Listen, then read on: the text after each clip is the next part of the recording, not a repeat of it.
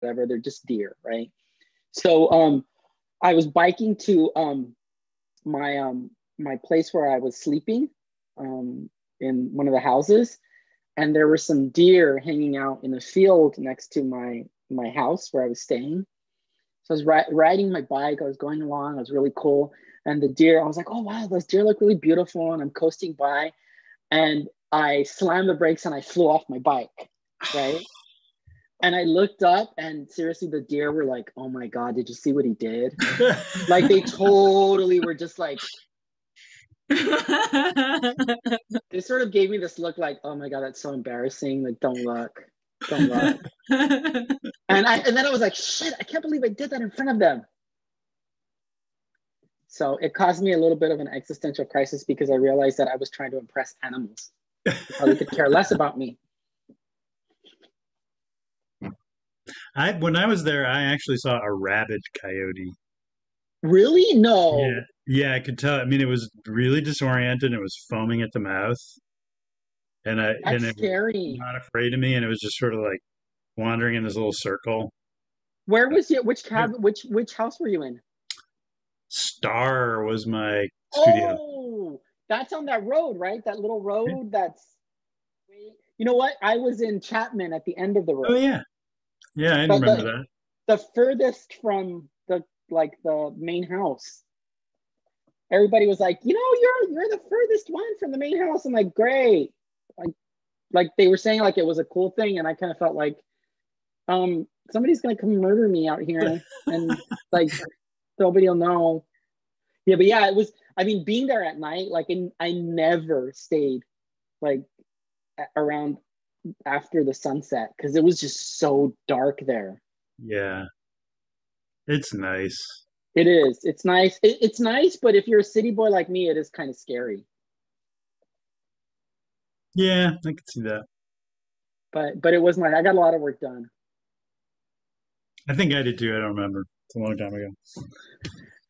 And then they give you lunch and dinner and Bring you a picnic basket. yeah, picnic basket. So yeah, so so MFA students, like that's what you want to strive for is to apply to those residencies where they they treat you like royalty and they feed you and they give you space. Right? No internet connection. So, what time is it? Do we? We'll give people a couple more minutes, maybe. Yeah. Allegra's here. Is Allegra here? There, there she is. There she is. You ready to do your introduction? Caldwell's doing it, so we have Oh. to wait for to get back. Oh. He's a I thought you guys were going to do like some humorous thing. oh my god. Uh, we were um, but then But then workshop happened, right? And they're like, shit, screw him.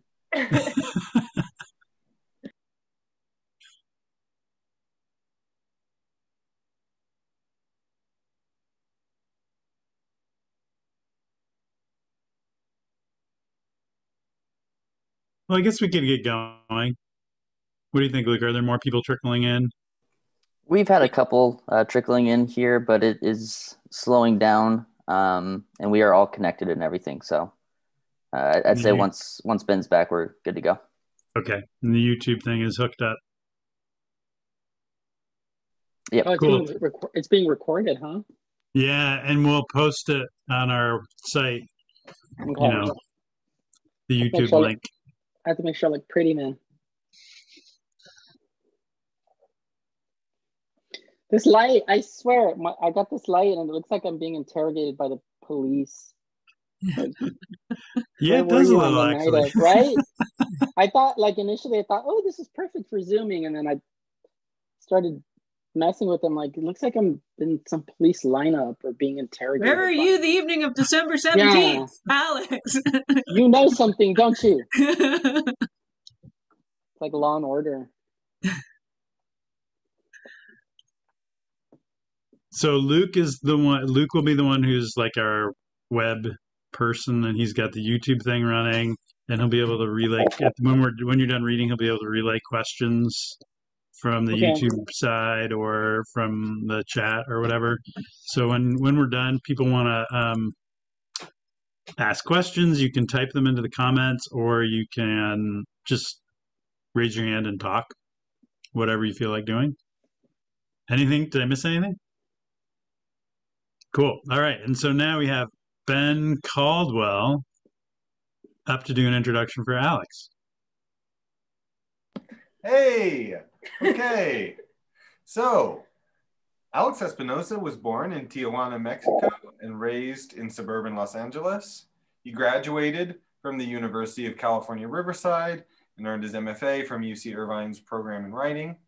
He's the author of Still Water Saints, The Five Acts of Diego Leon, and Cruising, an intimate history of a radical pastime. He is the recipient of a grant from the National Endowment for the Arts and is currently the Tomas Rivera Endowed Chair of Creative Writing at UC Riverside. All right. Thank you. How's everybody doing? Good. It's it's it's weird doing a reading on Zoom. I've I've done them before, but but um I still I still am not used to the um the sort of the uh, um, the wonders of technology. Um, but um, you know, I'm I'm glad to to be able to uh, share the space with with all of you, um, and to see the faces of my good friends, Greg and, and Caradwin, who I've known for for many years, um, through the the community of writers. Um, and um, you know, it's it's one of the things I think that makes uh, the writing life so uh, rich and wonderful are the friendships that you make and the different communities that that you build out of it. And um, i'm happy to have greg and, and carabin be part of that community. Uh, i just I, I, I know that someday soon we'll all be in the mountains near lake tahoe again uh, singing songs by the fire um, and gossiping uh, the way we used to. We had some we've had some really good times um, and and I and I I miss them, but I know that we'll be back to it. Um, I had a great time meeting everyone today at the workshop. It was really fun. Thank you, Allegra and Ben, for being generous with your with your work and for allowing me to to read it and to comment on it and and to talk about it. Um, it was such a joy, and um, you know, getting lost in those stories. Um, it's it's kind of what's keeping me right now and what's sustaining me.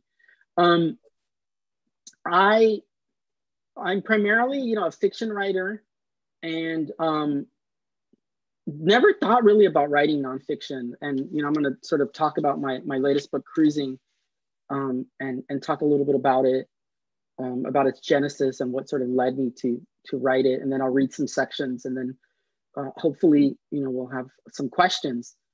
Um, I you know, I, I started out writing short stories and never saw myself writing any kind of longer sort of piece of nonfiction beyond like, you know, the the the random essay here and there. Um, but I was um, living back here in LA. I had moved back um, because I was tired of living in, in Fresno. I was living in Fresno, California for two decades. No, one decade, sorry. It felt like two decades. Uh, Fresno is one of those places where it's really hard to be gay and it's really hard to have a partner. um, it's just one of those places that is, it's a tough place. And, um, you know, I was struggling for a long time with my job and, and with, you know, um, uh, with a lot of other things that were happening. And I wanted to move back to LA. I wanted to be back home. And uh, I had an opportunity. Um, I met my uh, publisher, uh, Unnamed. It's a small indie press that is here based in LA. And they had published a book that I really liked. And um, it was a book by a writer um, from Texas. It's called Arcade. And it's about a young man protagonist who is unnamed and he um, has a really messy, messy breakup with the guy and ends up finding uh, solace in um, an adult bookstore near his near where he works. Right, he has random encounters with men and um, you know explores his sexuality through through those encounters. and I really liked the book a lot, and it reminded me of John, the writer John Rechy's work. And every time I saw Olivia and Chris, or my editors unnamed, I'd say, you know how many people I told about that book? How many people I told to read that book? It's such a great book. There was another book by a, a gay writer that was out that was getting a lot of attention. I kind of felt like, you know, it wasn't as good as as the attention it was getting. And, and here was this book that was like I thought was better and nobody was reading it. So I was really frustrated. So um my my publishers reached out to me and they said, Hey, um, can we take you out to lunch? And I said, Yeah, sure. Um, and so they took me out to lunch and they said, you know, have you ever thought about writing a book about, because I, I had talked about my experiences growing up gay and closeted and, you know, the culture of cruising and how I sort of fell into it and what it meant for me, you know. Um, and they sort of said, well, have you ever thought about writing a book about that? And I said, no. Um, and they said, well, we think you should. And I was like, great, I'll get right on that. Like right after I'm done writing this other book. And they said, well, we think you should, and we want to publish it. And I was like, bees are on the what now? Like what, what was that? I don't understand. And they said, yeah, we, we think that you should write a book about sort of the history of cruising and, you know, and just, just so that everybody's clear, cruising, I don't mean like driving around in cars, right? The culture of gay cruising means anonymous sexual hookups with men in public places, right? So, um, so I'm like, you want me to write that? And they said, yeah. They said, we, you know, we think it would be great and, and we want to publish it. So what do you think? And I was like, well, a couple caveats. I said, I need, I need to make sure that um, I have to include my own experiences. And they're like, great, we want you to. And I said, and, you know, um, I also want to include the experiences of men of color because I think that's really important. They're like, great. Um, so they kind of were like, we're gonna write up a contract and reach out to your agent. I'm like, all right, fine, just do it. And then brrr, before I knew it, they're like, all right, we're good. So it was a really weird experience. Like it was the reverse of typically what happens, right? Like, so I tell everyone that story, and they're like, really? That that that happened? And I said, yeah, it was just sort of I, I wasn't intending to write this book, but then the more I thought about it, um, because they were like, you know, take it or leave it. Like it's it's up to you. And I talked about it with my partner and sort of was like, well, you know, I can I can put the novel I'm working on on hold right now. I can write this really quickly. Um, so I kind of that that's kind of what I did. And and I wrote this book um, in the middle of a huge transition in my life when my partner was still living in Fresno and I was down here in LA trying to find a place to live for us. Um, I found a house, moved into it while he was still up there. I was chairing another department that was falling apart, and I was writing this book.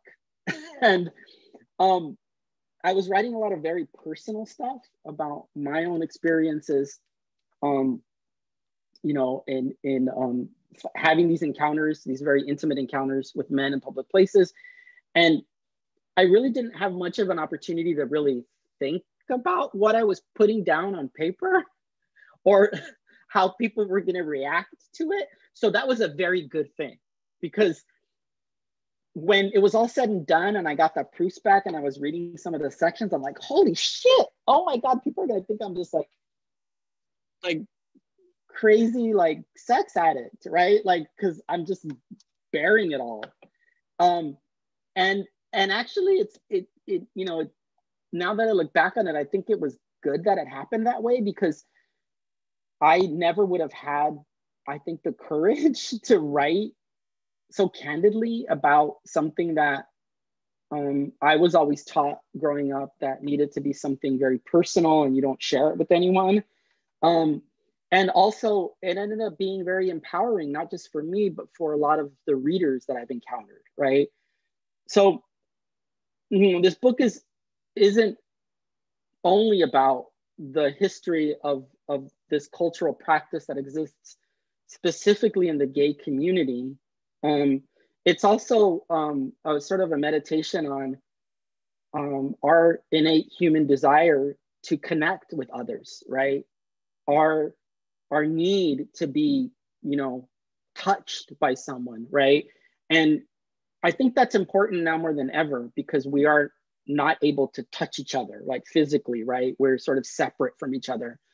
Um, so this book became sort of a meditation on on not just sort of the, you know, uh, you know, for lack of a better word, like men, you know, in bathrooms getting it on, right? It's it's more about sort of it's about that, but it's also the celebration of this cultural practice that I think is one that's rooted in um, radicalism, in um, you know, in a, a, radical gay sort of um, philosophy that embraces, um, you know, body positivity and sex positivity, and and my own experience with it, right, and sort of what it was able to do to me and for me. Um, so I'm going to read you a couple of, of sections and um, sh some short sections, and, and I hope you know there's there's time for, for questions. Um, so I, you know, um, I start with a um, very sort of personal um, story about my own sort of how I was introduced um, to the practice of cruising. Uh, I was 15 and sitting at a bus stop on my way to the mall to pick up my paycheck. I worked at a retail store that sold novelty gifts, greeting cards, stuffed animals, bags of potpourri, and large ceramic masks of gestures and crying clowns that people bought to hang on their walls for some reason. That particular summer was especially hot, even for the San Gabriel Valley. I was in shorts and high tops, and despite the heat, I also wore a thick gray sweatshirt and a flimsy baseball cap. I always wore long sleeves and hats back then. These were part of my armor, how I deflected attention from the imperfections that I was born with.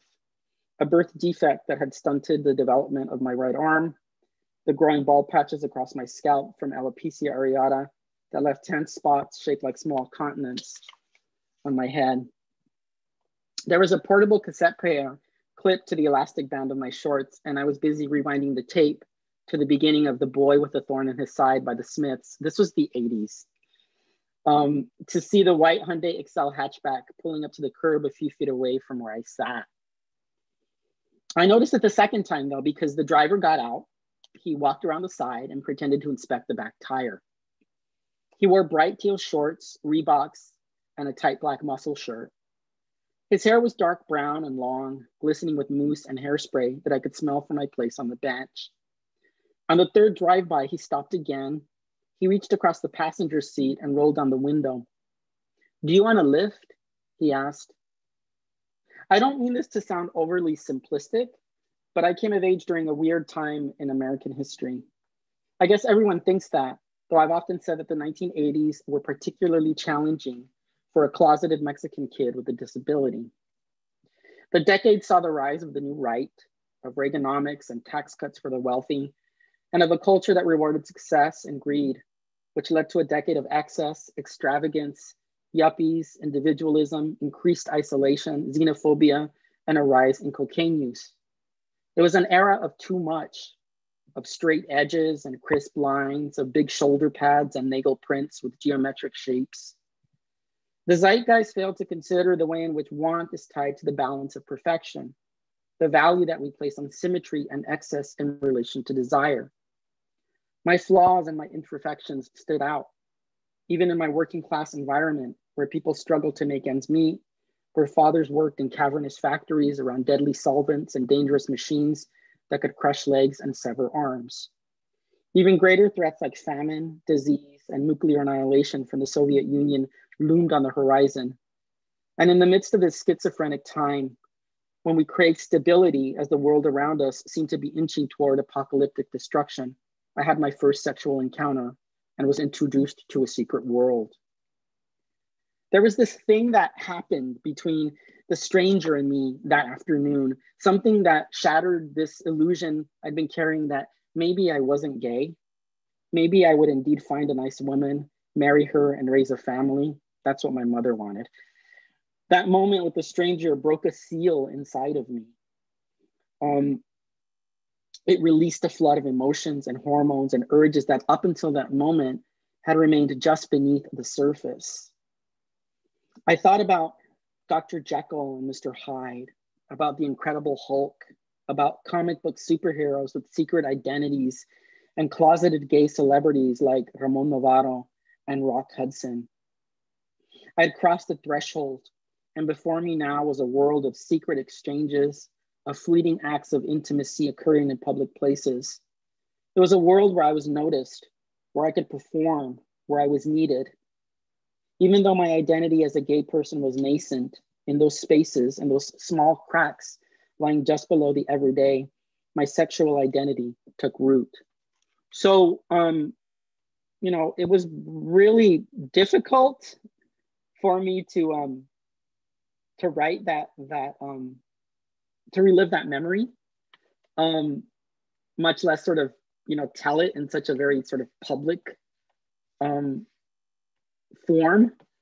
Um, but the good thing about working with my publisher was that they um, they really want they really encouraged me to be frank and to be honest, and um, you know they um, they gave me kind of the the the the really the sort of the the license to be as forthcoming as I wanted. Um, it was challenging writing this book, not not not only for that, but because I was writing about a um, a phenomenon um, that, in a lot of ways, is still very misunderstood, right? Um, not talked about, um, though a lot of people do it, and um, there there's no one central like book that I could reference, right? There isn't like, ah, aha, that book on, you know, so and so's book on on gay sex and cruising in the 1980s or whatever.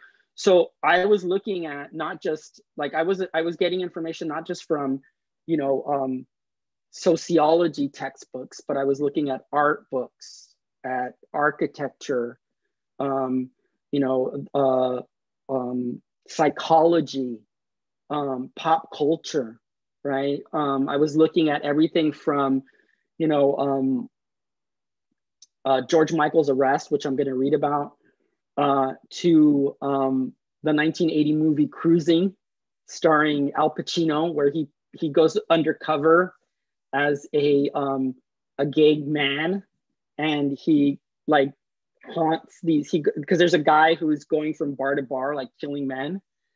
Um, so Al Pacino, you know, masquerades as a gay guy and like frequents these bars trying to catch this guy. And the film is full of a lot of like really awkward scenes of like Al Pacino in leather gear dancing uh, to disco music. And it's just really bad. And the movie was really upsetting. A lot of a lot of gay activists were upset because of the depiction of gay men as as being brutal murderers and um, you know, living these hedonistic lifestyles, right? So I look at, you know, Greek and Roman um, sexuality. I look at molly houses during the Victorian era in England. Um, the address book, which was this tiny little uh, pamphlet that could fit in your back pocket. It was kind of like the um, Grindr before Grindr where um, Bob Damron, who was this um, publisher and, and um, uh, would go around and would um, travel from state to state, finding all the gay sort of owned businesses. It's kind of like the Green Book, but for, for gay men. So there was listings of bars and restaurants and also cruising spots where you could go, like if say you're in Arizona and you're in Phoenix, it's like, hey, there's this trail here where guys do stuff. And then each listing had codes for like what you can find there. Um, so the book really sort of looks at all of that. And, and um, I also, it also looks at some of the experiences of um, uh, gay men living in um, countries like Russia and Uganda that have very stringent laws against homosexuality and, and how apps like Grindr and Scruff are really changing the culture and not in good ways, right? Where it's putting men's lives in danger, especially in those countries where um, homosexuality is considered a crime, right? And a lot of men have been um, catfished, right? They've been sort of lured out um, by by fake profiles, and they go and they meet with someone and they find out that the person's a cop, and they end up in jail or dead or never heard from again, right? So um, it was a very exhaustive sort of book. Um, I had lots of resources to look at, so there was there wasn't one central sort of book that I could go to. So I was kind of writing it as I went along, hoping that it worked. Um, and you know, um, I I recount incidences, you know, uh, like I said, like the George Michael incident, um, which I want to read to you now, um, because I think this is a really um, interesting example of how uh, someone can take a taboo um, subject or incident and turn it into something empowering, right? Which is what George Michael really did with his arrest. The incident occurred on a warm spring afternoon in April. The park, located at 9650 Sunset Boulevard, is just across the street from the famed Flamingo Pink Beverly Hills Hotel. The hotel is a hotbed for both celebrities and the throngs of tourists who arrive by the busload seeking them out. In its glory days, the hotel boasted a roster of celebrity guests that included Elizabeth Taylor, Charles Chap- Charlie Chaplin, Rock Hudson, and Joan Crawford, to name a few. If celebrity had its own planet, it would look like the Beverly Hills Hotel, wrote the Los Angeles Times in 2017. There's enough show business lore here, trysts, honeymoons, and naked sunbathing to be a movie in itself. A Caddyshack for the rich and resplendent, Still, the old hotel retains a dignity and opulence. So it's a bit ironic then that the public bathroom where George Michael was caught cruising would be located just across the street from this hotel, a place where celebrities went to both be seen and to hide away, a place where careers were launched, where others ended, where scandals erupted, and where secret affairs were discovered. The 80s sex symbol was famous for being a male heartthrob who made girls swoon with his thick mane of hair, his bronze skin, and that angelic voice. When he was busted for cruising in Will Rogers Park, that facade came tumbling down, perplexing more than a few people, among them Lieutenant Kreins. Quote, it's not something you'd expect up there, he told the Times. It's pretty much a park where you'd relax, read a book, and get some wedding photos taken.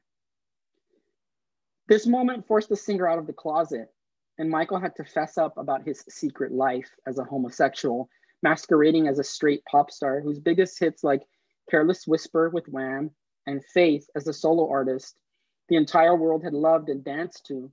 Yet what might have ruined anybody else's career led to a resurgence in Michael's, which at the time was not exactly on the upswing. His position of defiance and his refusal to apologize for his actions had many gay rights activists interpreting his response as a rebel yell Michael was not conceding to heteronormative definitions of sex and intimacy. As gay men, we revel in the anonymous hookup. This is part of our culture, he seemed to be saying. It's who we are, it's what we do. If you don't like it, turn the other way. In a television interview on, on NBC in 2004, Matt Lauer asked Michael why he'd behaved in such a risky manner. You can afford privacy, Lauer said at one point. And Michael replied, People actually don't understand the principle of cruising for gay men, but it's nothing to do with necessity. And that's something that I think straight people don't understand. This exchange illustrates one of the most important aspects of cruising. For gay men, it's something that can happen out in the open, an equal exchange between strangers that doesn't need to cause shame and doesn't need to be codified in any other way.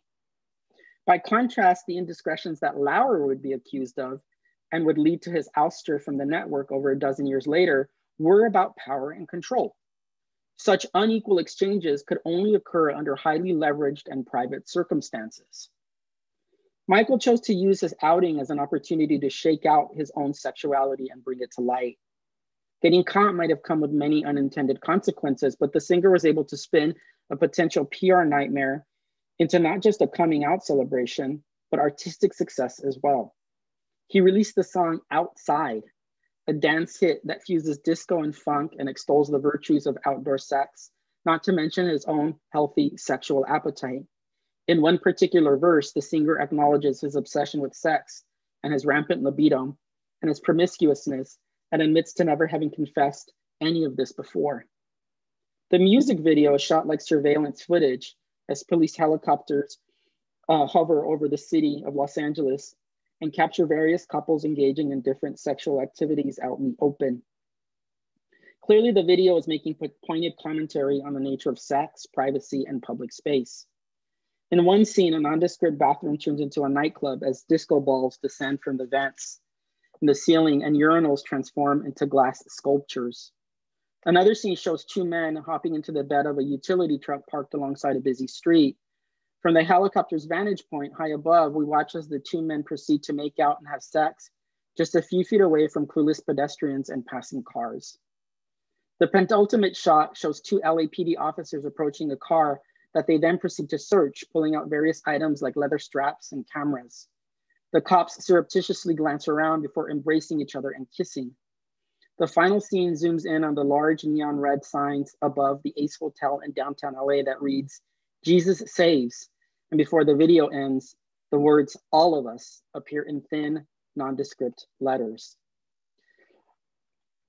In 2009, with the Daily Mail, Michael was unequivocal about the benefits of cruising.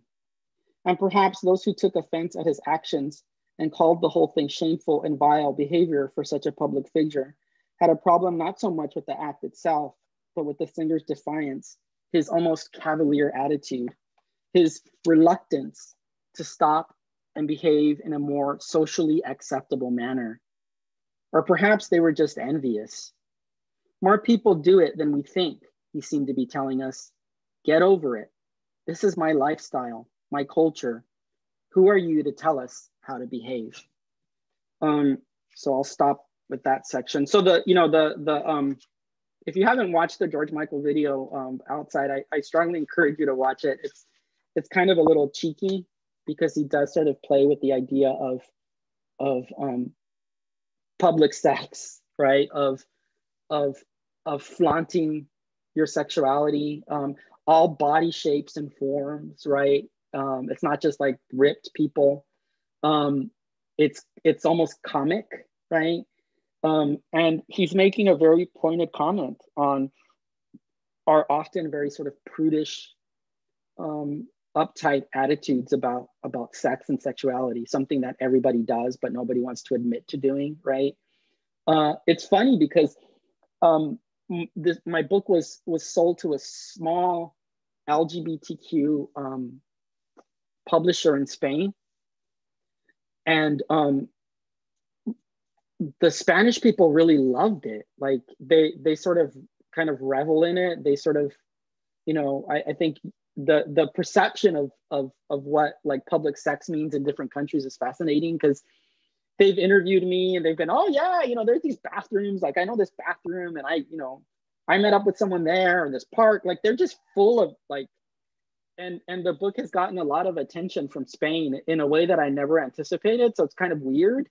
Um, but they have absolutely no, you know, they have no hangups about it, which is which is really fascinating to me because I think even in in in my experiences talking about this to very sort of friendly audiences, there's still that sort of sense of re- like the reservation. Like nobody really wants to sort of like acknowledge it or talk about it or articulate it.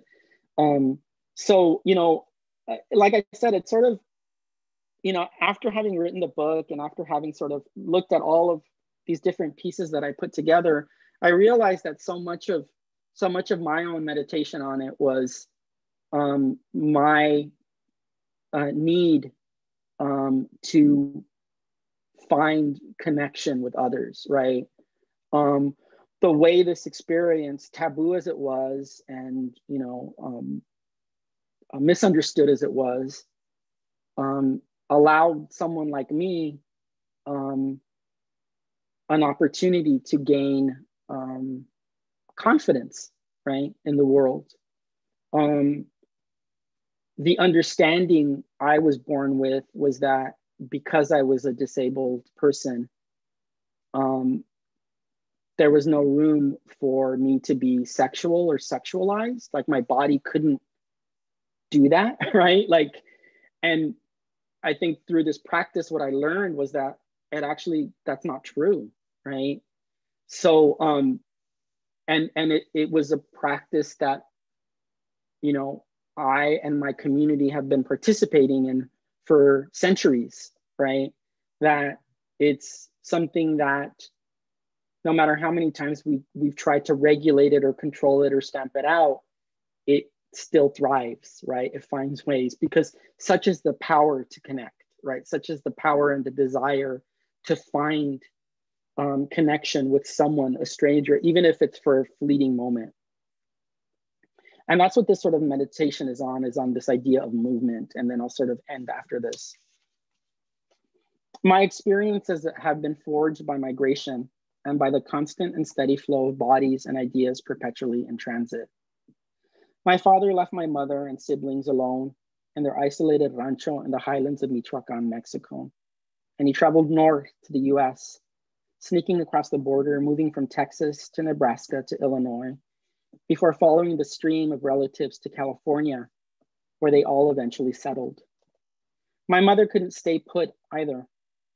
Never one to wait, she gathered her children up and early one morning boarded a train and headed north to Tijuana to stay with relatives. There, she sent word to my father, and when they reunited, he insisted she tell him why she ignored his request that she stay put. And she replied, You must think I'm stupid. I wasn't going to just wait for you. She used to laugh whenever she told me the story, shaking her head in disbelief. She wasn't thinking, she said. She only knew that if she stayed there in that small pueblo, in that cold brick house with no running water and electricity, she would surely die, and so would her children. Everyone was going, she said. The whole place was emptying out. There was nothing left. I wasn't going to just sit by and watch. So I gathered your brothers and sisters and we picked ourselves up and we left too. I've traced the route they took decades ago by train, north into Guanajuato, its hillsides gouged out by miners who discovered plata, silver, hundreds of years before. Northwest through Jalisco, past the fields of agave farms and distilleries that produce tequila. Still farther northwest into Durango, charro country, through Sinaloa, past Hermosillo, and into the border state of Baja California Norte to Tijuana, where I would eventually be born. Conceived in California, she insisted I be born back there in the Tierra Sagrada of home, that place of ever changing makeshift colonias, some falling off the map overnight, others springing up so quickly they didn't even have names for them. Perhaps she sensed the spirit stirring in me, jabbing at her rib cage, imploring her to get up and go. I see patterns of movement in everything. In the monarch butterflies of my homeland, in the caravans of people streaming out of countries where civil unrest and guerrilla warfare, fueled by dictators and despots, makes life insufferable. Across the Bering Strait, down from the icy north into the forests of southern Mexico and central Brazil, and into the jungles and tropical forests of Brazil. Movement is in our blood. It's part of our collective human condition. We're born out of movement, out of a desire to forge connections with others in order to feel less alone. Or perhaps it's to know and see ourselves, to recognize our struggles in someone else. It's an endless cycle of transit and migration from one fixed point to another and then another. And each time we move and flow, we change a little and we come closer to becoming that person we always imagined ourselves to be. Becoming is never easy. Being tempered and stretched is painful. The body can only take so much. And the trauma inflicted infects the mind, it boils the brain, and it turns our agonies against us. And yet, this, this is how sorrow can become our song. And I will stop there.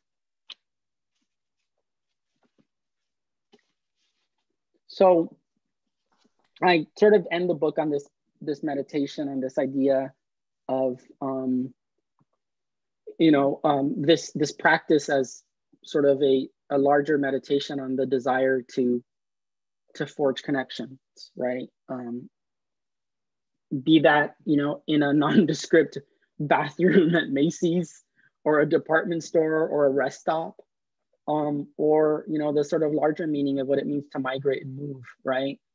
Um, the experiences of writing this book um, showed me that at, at, its heart i think um, this is a practice of um, individuals seeking um, intimate connections with one another right? Despite you know very repressive laws despite you know um, uh, homophobia despite being in the closet right? That that there's this larger desire uh, to connect and that that desire is so powerful that it it you know it extends beyond you know um, time and and certainly beyond space too so there you go so i hope people have questions i, I like questions questions are fun I think I read enough. Did I read enough? Did I read long enough? I did. Right? Is that okay? Okay, good. I don't like to read too long because I don't like to bore people.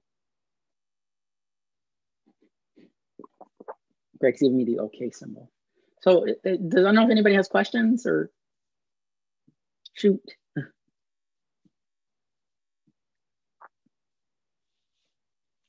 Luke says, feel free to type your questions here or to ask out loud. I can ask like a big general question to kind of kick things off while people are being shy and thinking and so I mean like talk about the difference in your um process writing fiction versus nonfiction like how does it feel um I mean whenever I do it I feel like I'm using a different part of my brain like it's just not even the same thing but I've never written a nonfiction book so I'm I'm curious to hear how that how they compare like with process, um, just like how you think about it, work habits, yeah. all of that. Yeah, I mean, it is it is like using a different part of your brain. You're right. Um, like I said, I think one of the challenging things with this book was that I didn't have, you know, like when you're when you're researching for a novel, you know, you can sort of look at like one specific thing, right? Like, you know, like right now I'm sort of I'm writing about this you know this this subculture in in, in Latino culture, the luchadores, the masked wrestlers, right? So it's it's it's really sort of that's one thing to research, right? So you can like really get into it and but with a book like this, it was researching a lot of different aspects of the same thing from different lenses. So um, I felt like in a lot of ways, I was um, it was like like piecing together just a bunch of different things, right? like like going to a, a an all you can eat buffet right like just grabbing as much as you can and seeing okay what do i got um and that does i think require a certain a difference in um, dexterity when it comes to your writing and a different approach um, I, I had to be comfortable with um, sounding a little academic right at, at times you know like like when I when I use quotes and you know footnotes and and and all of that. So I had to I had to make sure that I I understood when I could um, switch my the sort of the tenor of my voice, right? Um, depending on what I was explaining or, or or or trying to say. And that's very different in a lot of ways than fiction when you have like one kind of voice or narrative sort of um, uh, pushing through everything. Also, it's just you know with the in the with fiction you can sort of hide behind your characters right you can sort of like well that didn't happen to me it happened to my character right so there's a little sort of freedom and and flexibility that i think writing fiction allows that that nonfiction just doesn't you know you just sort of have to like you have to bear it all you know like i had to be very candid and i had to be candid and also uh, understand that the um like what what that would mean right in the long run like like like my being very honest about these experiences that i had like how am i going to be able to live with that right when i when it goes out in the world and i have to talk about it in a way that i just you don't have to with fiction. You, you say well it's my character right? Like but with this it's like okay you like you did this you experienced this what was it like? And so um the the stakes are different you know? Um, so yeah, so I would say, but and I would also say that that writing this, I think, made me realize that I actually wasn't um, taking a lot of emotional chances with my fiction in ways that I thought I was, right? Like I sort of was like, oh yeah, you know, I'm being honest and brave in my fiction. But then I wrote this, I'm like, I wasn't doing shit. I was just being like a total like I was copying out, you know. Um, so this really taught me, I think, how to be emotionally honest and emotionally invested in the lives of my fictional characters in a way that I hadn't anticipated. So it was really sort of revelatory in that way. Um, so let's see, there's a question. How did you go about finding materials about gay history? Did I contact LGBTQ plus historical preservation societies or use archival materials or personal interviews? This is from Madison. That was like, it was everything, like all of that and then some. Um, yeah, I actually went, there's this, um, I, you know, the, the one archive at USC has a really fantastic archival collection of, of, of LGBTQ uh, memorabilia um, and materials. So I spend a lot of time there. That's where I, I looked at the, I remember I mentioned the address book, those little books. I actually, um, they have a, a huge collection of them. So I was able to go there and um, the one of the um, the curators was like, I, I said, I just I want to see the Damron books. And he was like, okay, great. Like he brought them all out in these little boxes. And, you know, um, I took a picture of them actually. This is my picture of the covers, right? Um, and the, you know, the, you can see the years. And, you know, I just sat there and opened these very thin books and was able to sort of read through them uh, and look at the addresses of places that I recognized um, that are no longer. Um, and it was interesting holding those books because there were like marks in the pages. Um you know some of them were like stained. So i just would imagine like i wonder whose pocket this was in right? This was in some gay dude's pocket um, decades ago. Um a friend of mine um i didn't know him at the time but he became a friend. Um he's a visual artist who does work around um the the Damron address book he goes out and finds the physical addresses of the places and takes pictures of of what they are now to sort of mark these these um, locations of, of of gay history that are no longer because you have to understand a lot of the bathhouses and, and places like big cities like LA and San Francisco during the AIDS crisis just went under, right? They just stopped um, operating because of the crisis. So they turned into other things like the bathhouse is now a real estate office or you know a barber shop. So um, danny actually was living in silver lake with his partner when there was then then there's that big prop 8 um, it was like the marriage i don't i just get them all confused. Um, and danny found out that the let's see the was it no on prop 8 i don't know which whichever one was the bad one like whichever one was was was trying to you know protect marriage the the the sort of traditional marriage they had set up an office in a building in a spot that used to be a gay bathhouse and they didn't know right? So danny was like how fucking ironic is this right? So he went and like he took pictures of it and then that led him to sort of be like i wonder what these other places are. And so he created this book and sort of maps these these spaces um, and it's almost like he's sort of grafting on this this haunted landscape onto the Lord, sort of larger map of the city of Los Angeles.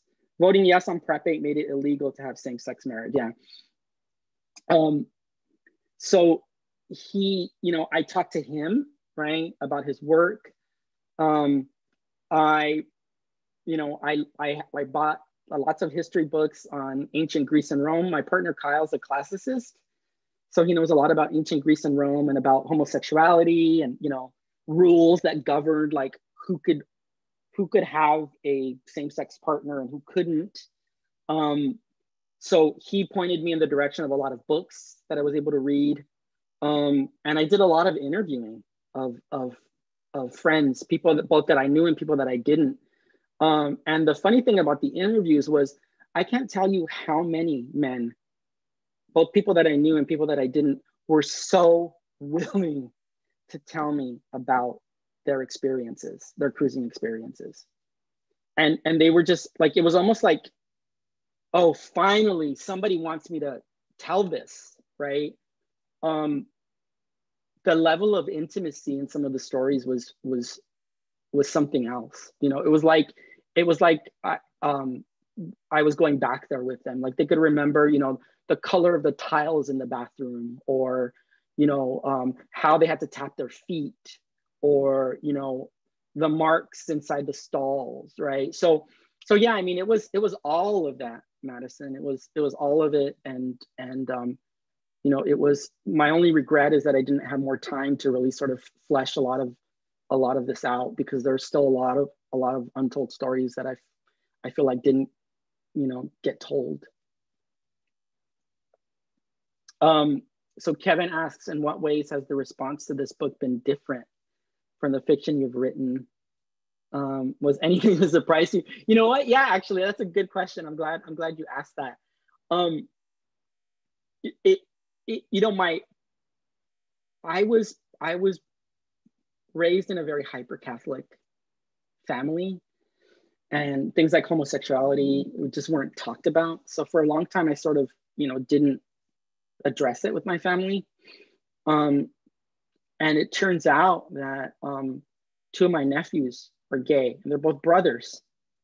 So, um, and one of them is he's he's gender nonconforming. Um, he's he's very sex positive, right?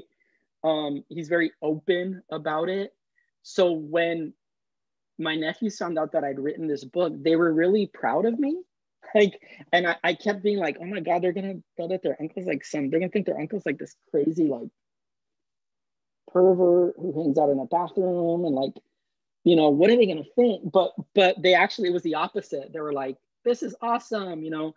Um especially danny my my um the younger of the two was um very proud of me. And actually i had an event at this lgbtq um space, community space in downtown LA.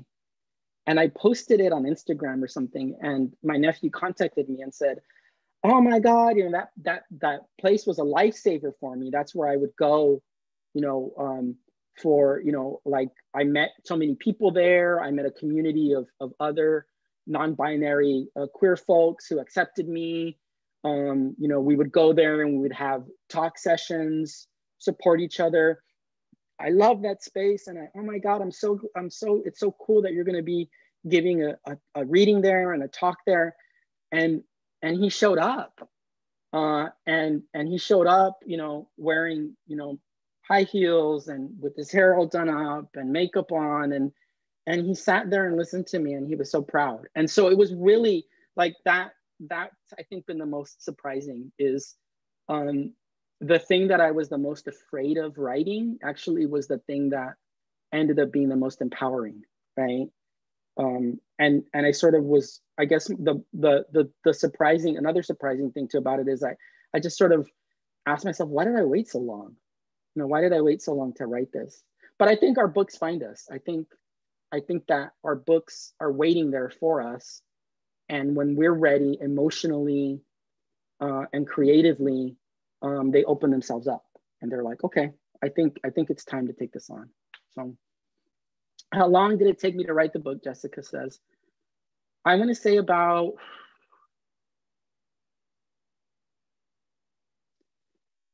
I'm to say a year and a half, two years. So that, that's a short time for me. Um, and you know, and I was writing chapters and sending them off to my my editor and then um, they would throw back the edits and then i would be fixing the edits and then writing another chapter and send like so i basically was writing trying to write a chapter a week. Um, and um, it was a quick turnaround. Like they they initially told me a year and i was like i can't do it in a year.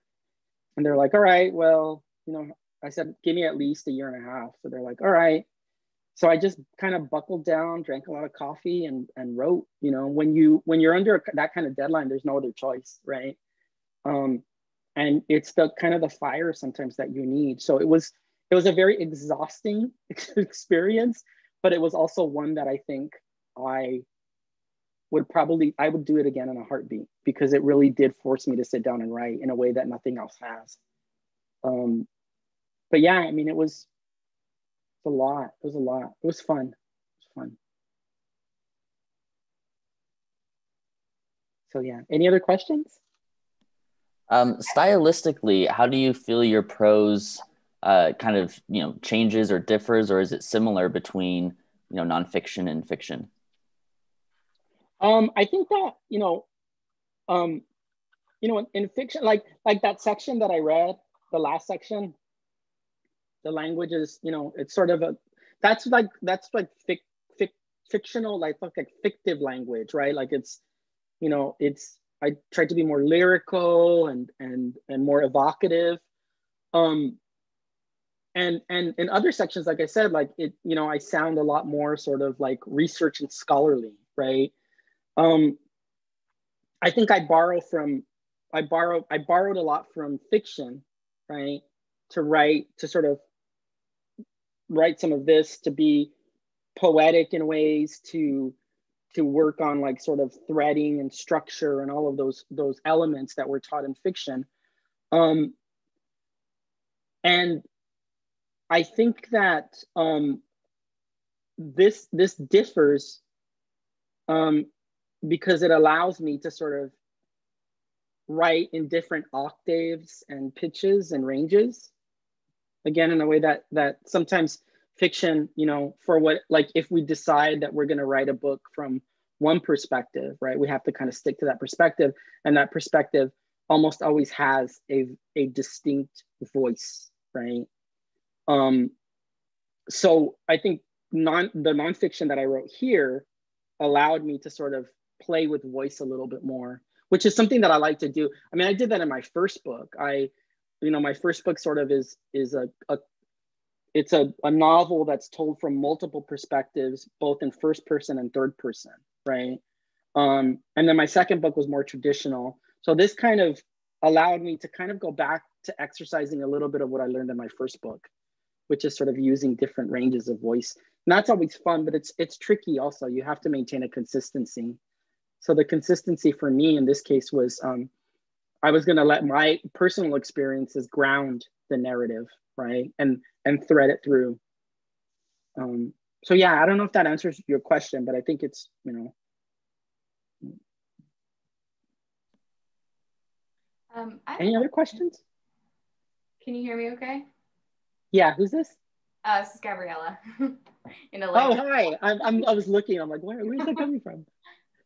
Yeah. Um, so I haven't actually read the book yet, but it sounds like this is a book that has really tried to take something that maybe outsiders would view as um, shameful mm-hmm. and, and taken it out of the shadows and, and highlighted as something important to gay culture.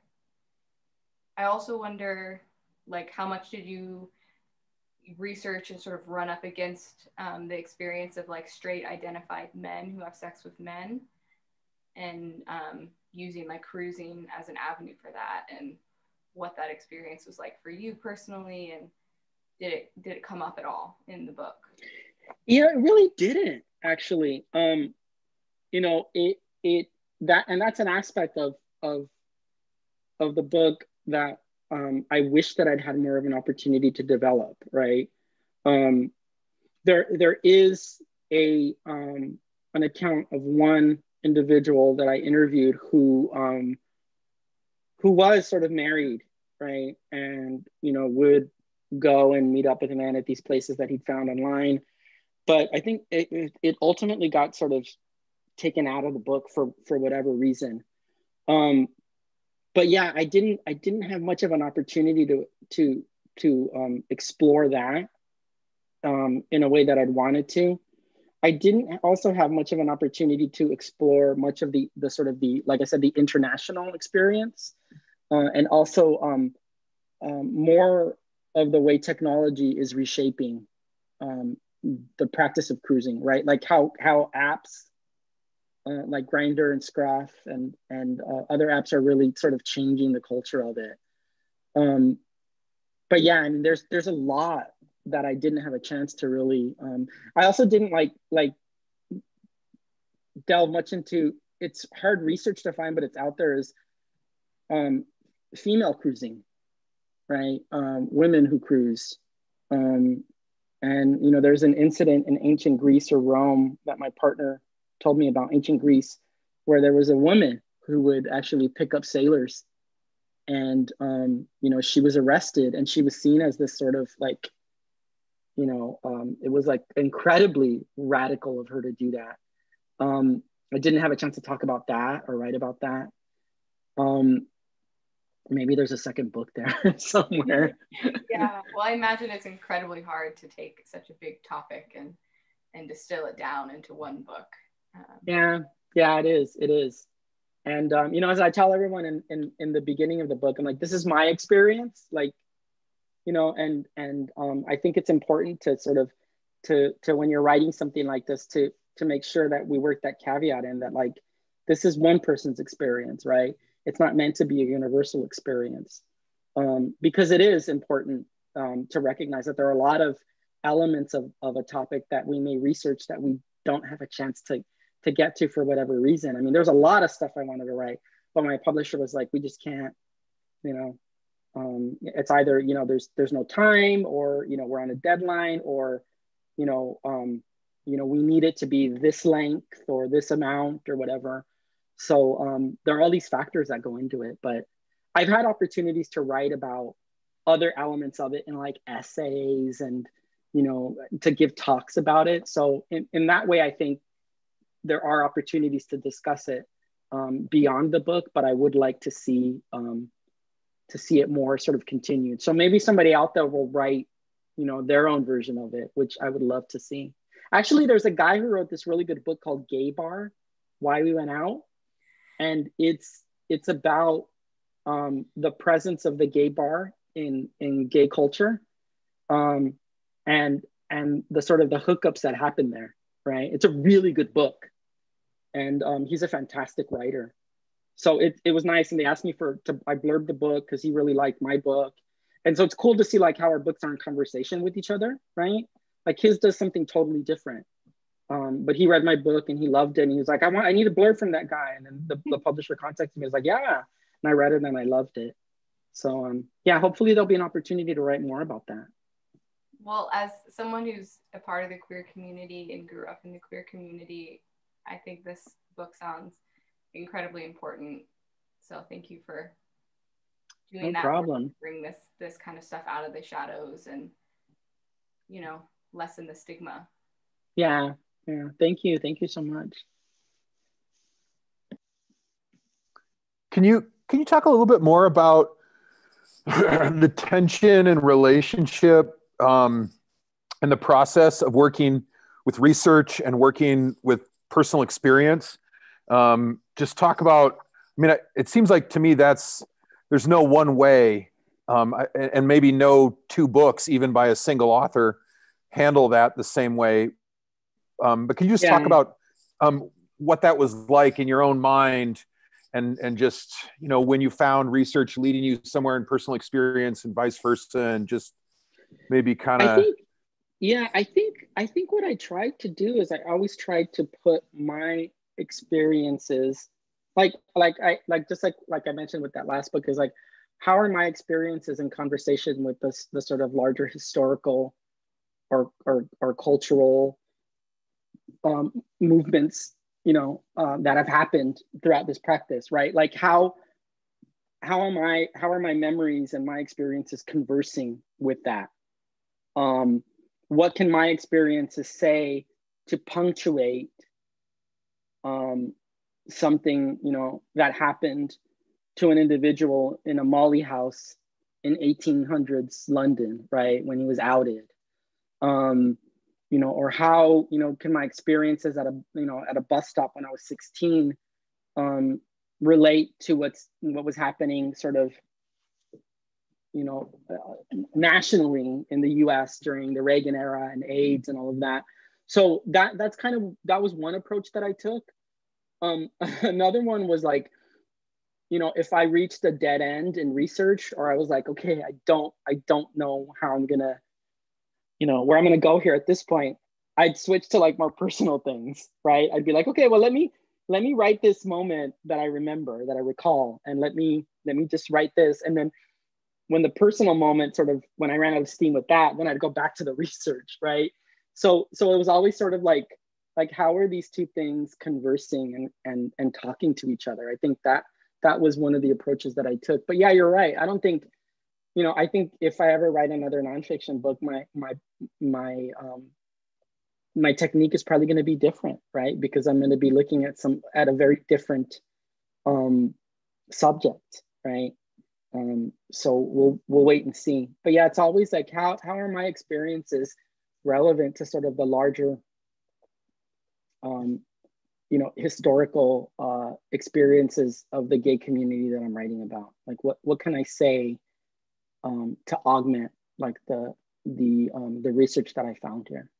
It's interesting because it, it sounds it sounds as though you felt like um, in the conversation that that the lead was the research, which seems to me kind of the opposite of of uh, you know when you talk to a lot of nonfiction writers, they think, oh, I had this experience, I climbed a mountain, or I got divorced, or you know I had a lot a person a, a grief loss, and that was sort of that was the the trigger. That was in the driver's seat, and then when I needed to move further forward or make it more universal, you know, prevent it from becoming sort of hermetic, then I would kind of reach out into the research. So it's super interesting to me that it it sounds as though you you know you were began with the kind of more universal or the more the more public, and then use that as a lens to understand and and to get the personal out.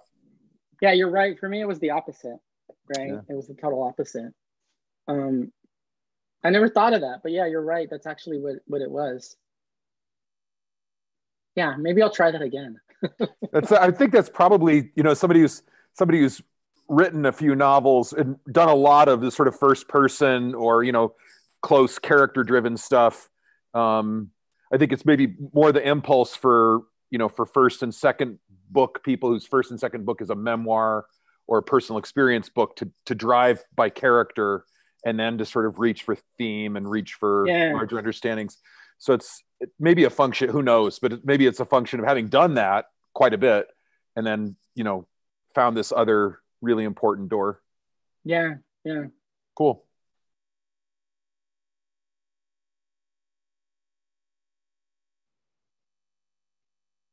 Everybody's all like, okay, who's gonna ask the next question?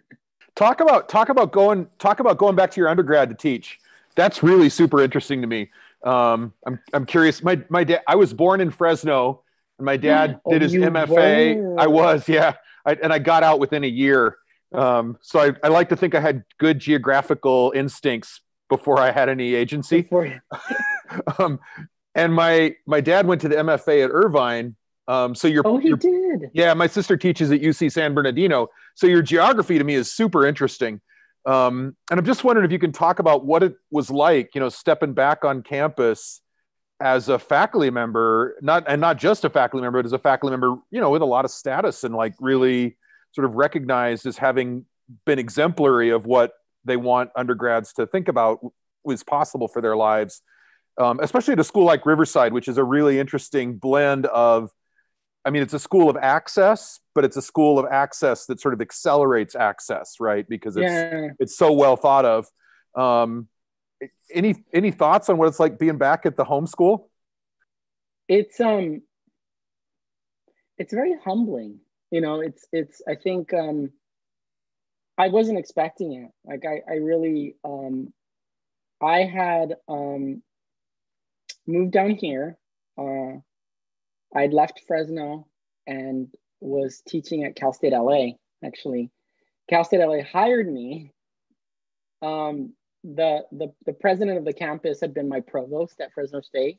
So he really liked me. So he was like, I want to bring you to Cal State LA. I'm like, okay, great. Like, but in what capacity? I'm not going to be an administrator. And and so they found a way. Like he's he's really determined so before I knew it, they were like, "Hey, we want you to come and start an MFA program in creative writing at Cal State LA." And like, fine, okay, I'll do it. Like that's how I was so desperate to leave Fresno. Um, you know, I I miss I, you know I miss my friends dearly in Fresno. I had a great group of friends, but it was it was hard for me personally, and so I took the job. I was here teaching at Cal State LA, and then um, I was contacted by a friend of mine um, who was leading the um, search for the position, our, our, mutual friend of Greg, Michael Jayme. And Michael reached out and said, hey, so we're looking for, you know, this position and we would like for you to consider applying. And I was like, why? like, I'm not ready. This is an endowed chairship and, you know, so it was, it was a real surprise. Like I, I you know, and, and, then I bought a suit and then I got my CD ready and I got my talk ready and I, you know, so I was like, all right, here I go again. And then Kyle, my partners, he's a really good sport. He's like, well, if anything, it's good practice, right? He's like, you already have a job. You know, he's like, think about, you know, other people out there who, who don't. And, you know, and, you know, so I was like, you know what, you're right. So I went and I, you know, I did my thing and, and, and that was it. And I, I didn't hear anything. So I was like, well, maybe I didn't get it. Um, and then they they they asked me if I if I wanted it, and so I was like, and then my and then Cal State LA actually was like, no, no, no, no, no, no, you're not, no, you're not, you're gonna come, you know, and but ultimately UCR, you know, I think just going from a Cal State to a UC is it's just a different um, academic academically cultural experience. Um, it's been you know it's been very humbling. It's been very um you know for without sounding too corny i do kind of feel like it's a dream come true because you know i landed at ucr in 1998 i had no idea what i was doing i only knew that people kept saying i was a good writer so i was like all right well maybe i'll study creative writing and i was lucky enough to meet a writer like susan straight who read what i was doing and was really smart and really savvy. And she said, okay, you know, two things like one, here, you got to read this. And two, you got to stop killing people in your stories. Cause like I would always kill people. Like I was telling the workshop this, like, like in my stories, it was always like somebody died. Like that was the big sort of, and, and Susan would just say like, you, you got to co- stop killing your, like, she pulled me aside. She's like, is everything okay? like, I was like, yeah, no, why? She's like, because you kill people in, in your stories. I'm like, well, somebody always has to die. She's like, no, they don't. And I was like, well, what, what do they do? She's like, well, they can like go out and have coffee or have a conversation or maybe sit in a car, like, and and and, and then she's like, read these stories, like, tell me if anybody dies. And then like I read like James Baldwin, and she studied with James Baldwin, and so so I was like, oh, okay, like yeah, okay, I get it. And you know, I really didn't know what I was doing. And, you know, there was a faculty member who who actually was was honest enough with me to say, you're right, you don't know what you're doing, but here's what you're doing right. And, and here's why you have to keep doing it, you know? Um, Susan really taught me um, to love like fiercely uh, and emotionally um, the landscape that I was writing about, no matter how misunderstood it was, uh, and to love the people that I was writing about that inhabit those landscapes. Right. So she and she she she was the first one to tell me like you gotta treat your characters with honesty and dignity. Don't shortchange their lives. And and and places like Riverside, the Inland Empire, like Colton, you know, the place that I wrote about. She's like, you know, you you got to make those interesting you got to make people outside of those places care about about it um you know people people ignore them enough right? And you know she was honest. She's like you know what? I don't know if new york's ever going to want to read a book about a bunch of mexican people living in in inland southern california but but go ahead. I think i think you need to do it. And and that's what i did. And and so you know when I sold, when I signed my contract and I got my book deal and I, you know, I was over the moon, I, I called Susan and, and she said, okay, the first thing she said to me was, now it's your turn. And I said, well, what do you mean? She's like, she's like, you know how I was, I, I read your stories and, you know, I was always here and, you know, we always talk stories and we, you know, and I made myself available to you. And I was like, yeah. She said, well, now it's your turn. She's like, now you got to do the same thing. You got to keep the door open for other people.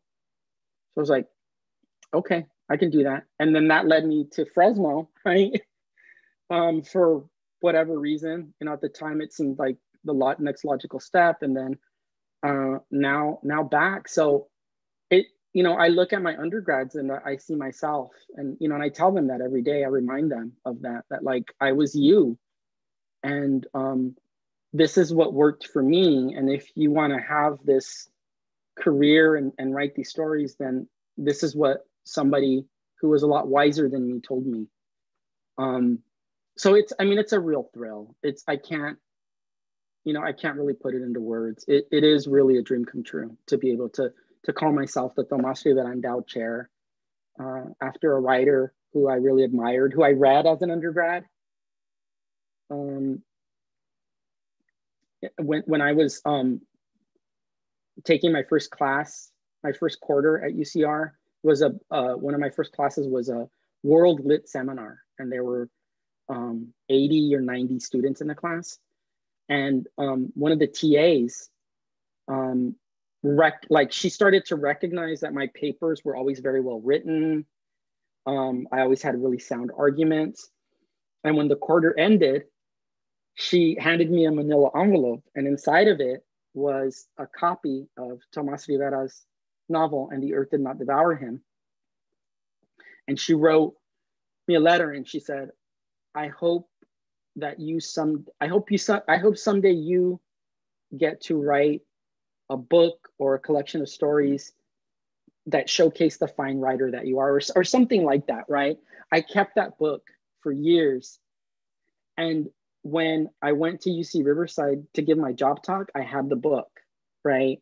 And i opened it up and i showed them i showed everybody the letter right and Tomas Rivera's widow was in the audience. And I was like, look, like this is what his legacy has meant to someone like me.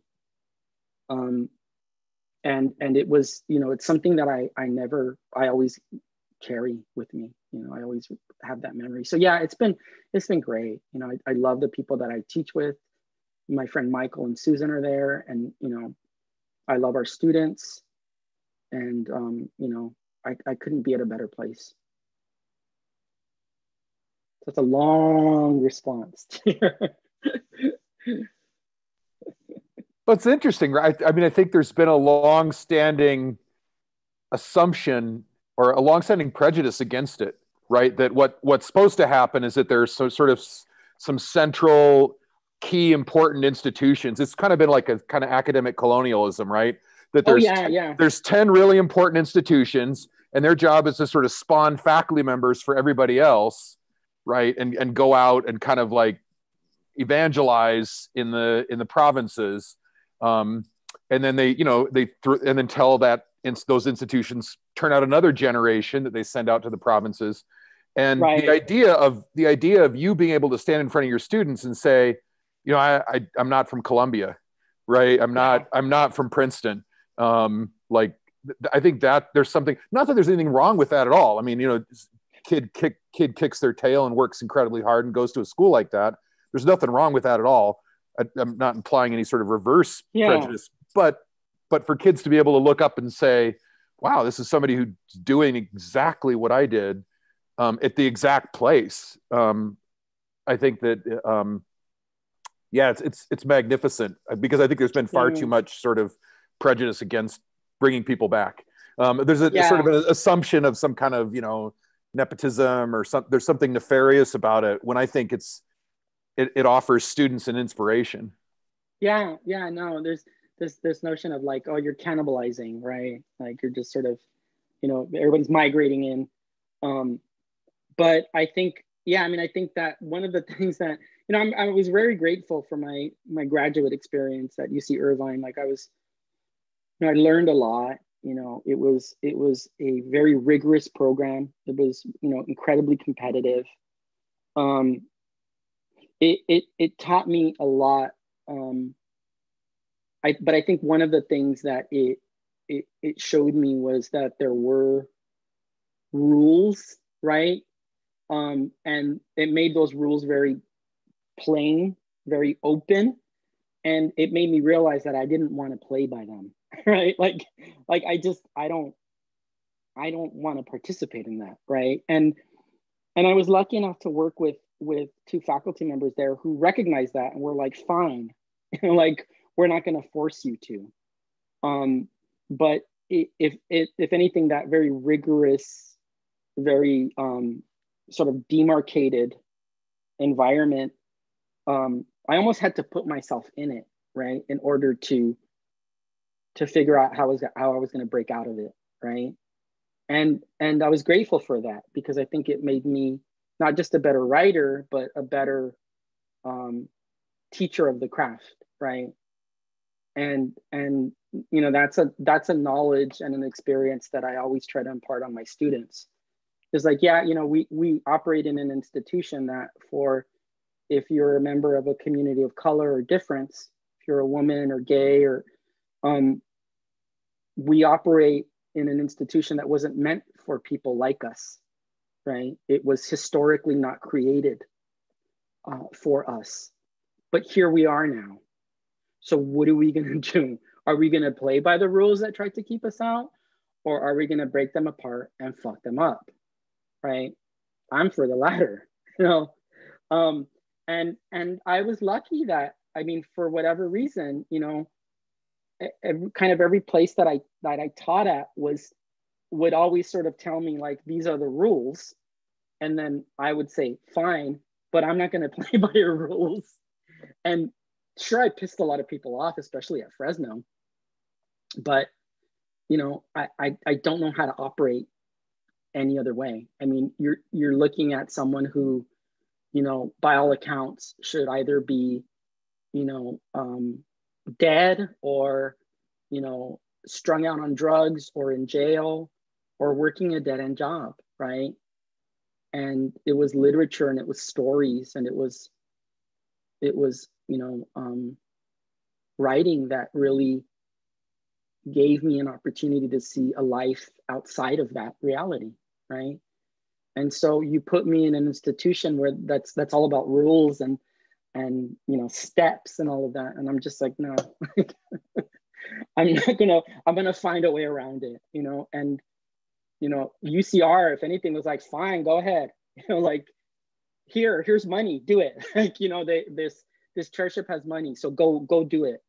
And um it's kind of weird you know? I, I always feel like i have to keep checking with people.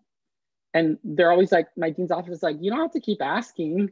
Like okay but you know, old habits die hard. But yeah.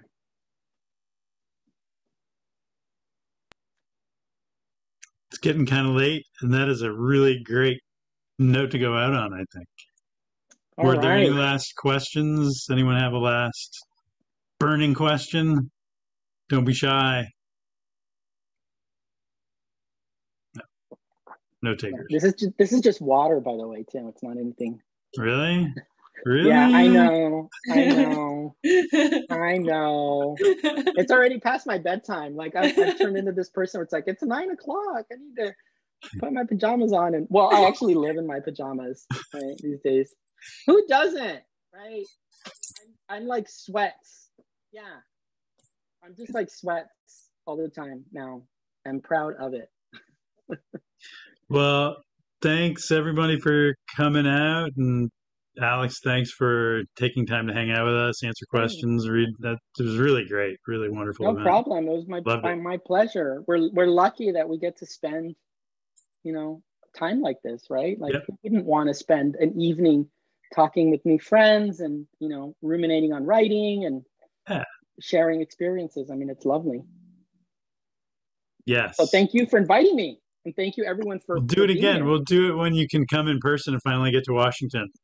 I know. I I really want to get to Washington State. I'm determined. We'll we will do it. All right. Okay. Bye everyone. Thanks. Good night.